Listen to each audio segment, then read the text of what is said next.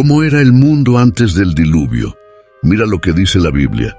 El mundo anterior al diluvio bíblico, también conocido como el antediluviano, es un periodo ampliamente debatido y especulado dentro de la teología cristiana. Este periodo abarca desde la creación del mundo hasta el cataclismo del diluvio, como se describe en los primeros capítulos del libro del Génesis.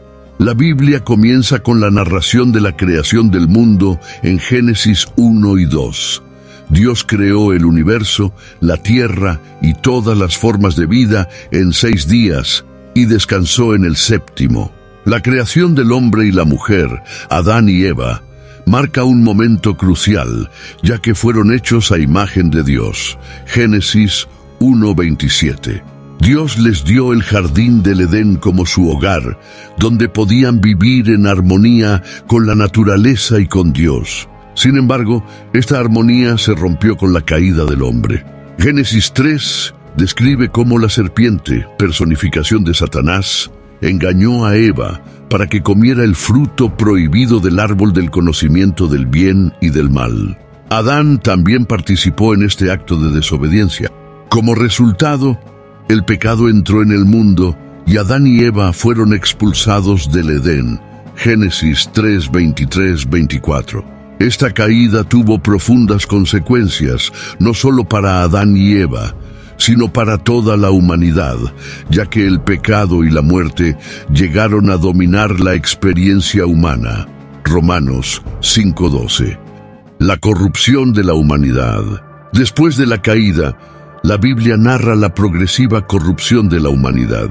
Génesis 4 cuenta la historia de Caín y Abel, los hijos de Adán y Eva.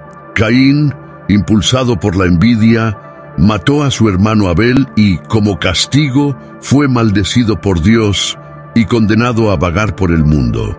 Este evento no solo demuestra el comienzo de la violencia humana, sino que también muestra la creciente alienación entre la humanidad y Dios. A medida que crecía la población humana, también crecía su corrupción. En Génesis 6, 5 está escrito, Y vio el Señor que la maldad del hombre era grande en la tierra, y que toda idea de los pensamientos de su corazón era siempre solo el mal. La violencia y la depravación se convirtieron en características predominantes de la sociedad antediluviana longevidad humana antes del diluvio, la Biblia menciona que los seres humanos vivieron durante periodos extremadamente largos antes del diluvio. Personajes como Matusalén, que vivió 969 años, Génesis 5:27, y Noé, que vivió 950 años, Génesis 9:29, son ejemplos notables de esta extraordinaria longevidad. La cuestión de por qué los humanos vivieron tanto tiempo antes del diluvio es un tema de interés tanto teológico como científico. La longevidad de los patriarcas antediluvianos a menudo se interpreta dentro de un contexto teológico. Algunos eruditos bíblicos sugieren que la extrema longevidad antes del diluvio refleja la intención inicial de Dios de que la humanidad viviera en un estado de salud y vitalidad. Sin embargo, después de la caída, la degradación progresiva del medio ambiente y la genética humana, exacerbada por el aumento del pecado y la maldad, habría llevado a una disminución de la longevidad. En Génesis 6.3 Dios declara, Entonces dijo el Señor, mi espíritu no contenderá con el hombre para siempre, porque también él es carne, pero sus días serán ciento veinte años. Algunos interpretan este pasaje como una reducción gradual de la longevidad humana debido al pecado y la corrupción generalizados de la época. Desde un punto de vista científico, no existe evidencia empírica directa que explique la extrema longevidad mencionada en la Biblia. Sin embargo, existen algunas hipótesis que intentan ofrecer una comprensión plausible. Algunos teóricos proponen que el ambiente, antes de la inundación, posiblemente con una atmósfera más rica en oxígeno y niveles más bajos de radiación ultravioleta, lo que podría haber contribuido a una mejor salud y una vida más larga. A menudo se plantean dos hipótesis. Genética. La genética antediluviana puede haber sido menos propensa a mutaciones y enfermedades que afectan la longevidad. Con el tiempo, la acumulación de mutaciones genéticas nocivas y el deterioro de la genética humana podrían haber reducido la esperanza de vida, dieta y estilo de vida. Se especula que la dieta y el estilo de vida de los primeros humanos, descritos como agricultores y pastores, podrían haber influido positivamente en la salud y la longevidad. Una dieta más natural y la ausencia de contaminantes industriales podrían haber contribuido a una vida más larga. Un ejemplo de gran longevidad es Matusalén. Es conocido como el hombre más viejo de la Biblia, ya que vivió 969 años. Era el abuelo de Noé y murió en el año del diluvio, que algunos ven como un símbolo de la misericordia y el juicio de Dios. Dinosaurios en el mundo antediluviano, una teoría controvertida. La teoría de que los dinosaurios coexistieron con los humanos en el mundo antediluviano es un tema de intenso debate tanto dentro de la comunidad científica como entre los eruditos bíblicos. Esta hipótesis se basa en la interpretación literal de ciertos textos bíblicos y algunas evidencias arqueológicas y fósiles. Exploremos esta teoría y sus implicaciones. Algunos creacionistas sostienen que los dinosaurios fueron creados por Dios durante los seis días de la creación, como se describe en Génesis 1. Argumentan que los dinosaurios vivieron junto a los humanos antes del diluvio y que las referencias a criaturas gigantes como Behemoth y Leviatán en Job 40 15, 24 y Job 41 son descripciones de dinosaurios. Behemoth, descrito como una criatura poderosa con una cola como un cedro y huesos como tubos de bronce, Job 40, 17, 18, algunos creacionistas creen que esta descripción puede corresponder a un gran dinosaurio herbívoro como el Brachiosaurus. Leviatán, una aterradora criatura marina descrita en Job 41 que muchos asocian con un dinosaurio acuático o un reptil marino prehistórico. Evidencia científica. La teoría de que los dinosaurios vivieron en el período antediluviano también encuentra apoyo en ciertos descubrimientos científicos y arqueológicos. Fósiles y huellas. Existen informes controvertidos sobre huellas humanas fosilizadas encontradas junto con huellas de dinosaurios en varias partes del mundo, como el río Paluxy en Texas. Aunque muchos paleontólogos cuestionan la autenticidad de estas huellas, los defensores del creacionismo las citan a menudo. Tejidos blandos en fósiles el descubrimiento de tejidos blandos, células sanguíneas y proteínas en fósiles de dinosaurios, como el encontrado por Mary Schwatzer en 2005, se ha utilizado para argumentar que estos fósiles no tienen millones de años, sino miles de años, antiguo, lo que podría ser compatible con la narración bíblica del diluvio.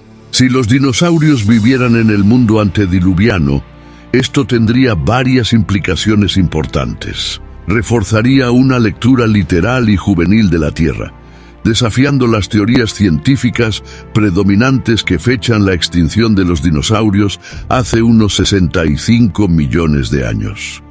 Redefinición de periodos históricos requeriría una reevaluación de los métodos de datación y la cronología convencional de la historia de la Tierra coexistencia con humanos.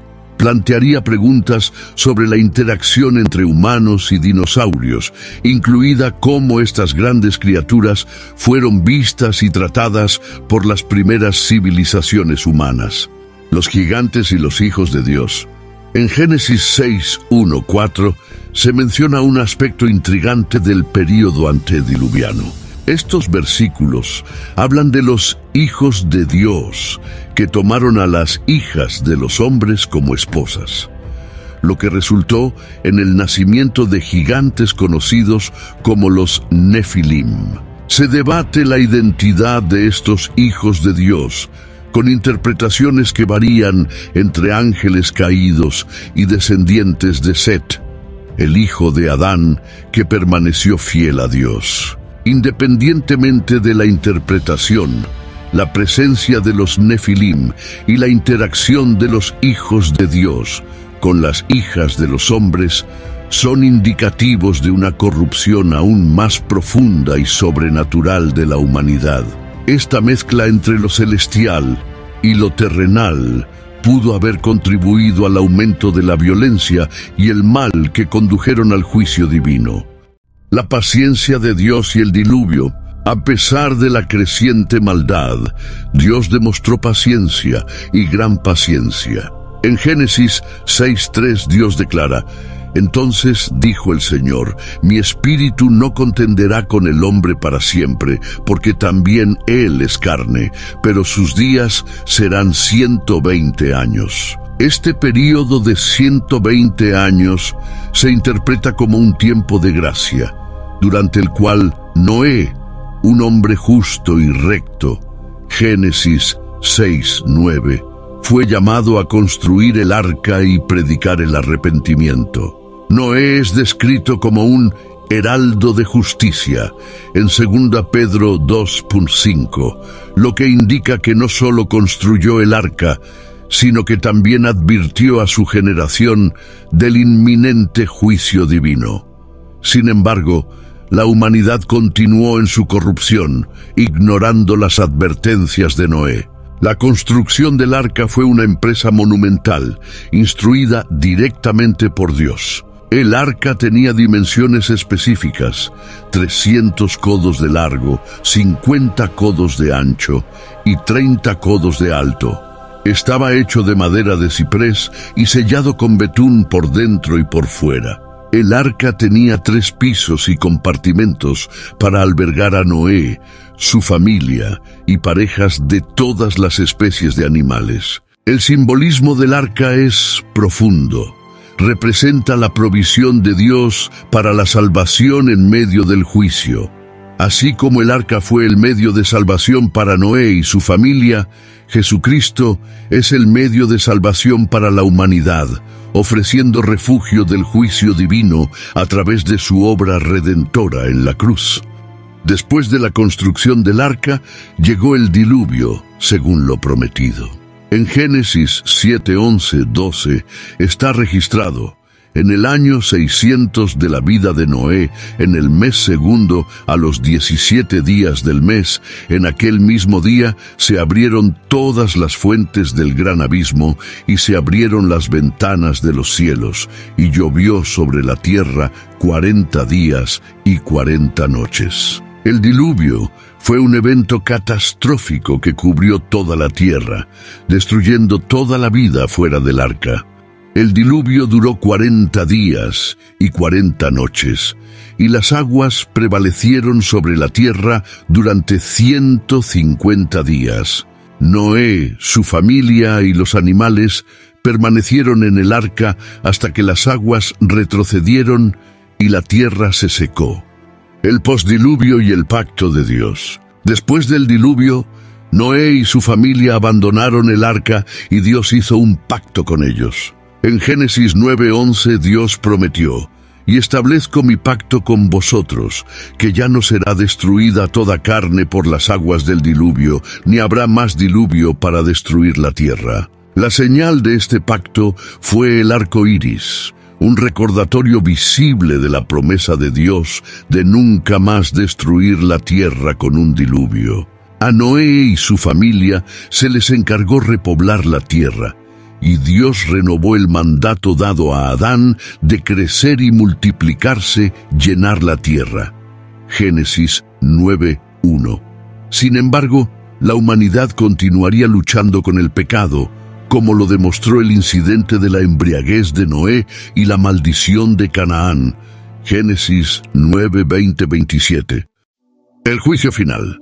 Jesús hizo referencia al mundo antes del diluvio en sus mensajes sobre el fin de los tiempos y el juicio venidero. En particular, mencionó este período para ilustrar la imprevisibilidad y la inminencia de su regreso.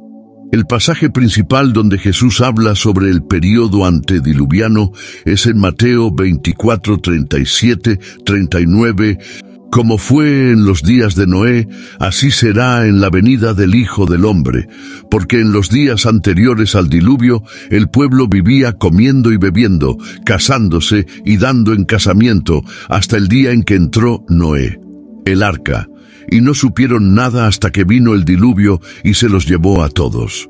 Jesús usa la historia del diluvio no sólo como una advertencia sobre un juicio futuro, sino también como un llamado a la vigilancia espiritual. Destaca la importancia de estar siempre preparados, vivir de acuerdo con las enseñanzas de Dios y estar atentos a los signos de los tiempos. Esta preparación implica una vida de fe, obediencia y disposición para el regreso de Cristo. La mención que Jesús hace del diluvio sirve para vincular la narrativa del Antiguo Testamento con su mensaje sobre el reino de Dios y el juicio final. Al hacer esta conexión, él reitera la continuidad y coherencia de las Escrituras, mostrando que los eventos pasados tienen relevancia y paralelos con los eventos futuros. Conclusión. La narrativa del período antediluviano y del diluvio ofrece varias lecciones teológicas. Primero, enfatiza la santidad y la justicia de Dios. La extrema corrupción de la humanidad requirió un juicio severo, demostrando que Dios no tolera el pecado indefinidamente. En segundo lugar, resalta la gracia y la misericordia de Dios. A pesar del mal generalizado, Dios proporcionó un camino de salvación para Noé y su familia. El arca es un símbolo de Cristo, que ofrece salvación a todo aquel que cree en él. Finalmente, el pacto de Dios con Noé, después del diluvio, refleja la fidelidad de Dios en el cumplimiento de sus promesas. El arco iris sirve como un recordatorio constante de la misericordia de Dios y su promesa de no volver a destruir la tierra con un diluvio. El mundo antes del diluvio bíblico estaba marcado por una progresiva corrupción moral y espiritual, que culminó en un juicio cataclísmico. La narrativa del Génesis ofrece una visión profunda de la interacción entre la humanidad y Dios, destacando temas del pecado, el juicio, la gracia y la redención. Estudiar este periodo no solo nos ayuda a comprender la historia bíblica, sino que también nos ofrece valiosas lecciones sobre la naturaleza de Dios y la condición humana. Las palabras de Jesús sobre el mundo antes del diluvio nos recuerdan la necesidad de vigilancia y preparación espiritual. Tal como en los días de Noé, muchos pueden distraerse con actividades mundanas, descuidando las advertencias divinas. Jesús llama a sus seguidores a vivir en constante disposición, esperando su venida con fe y obediencia, conscientes de que el juicio divino es seguro e inminente.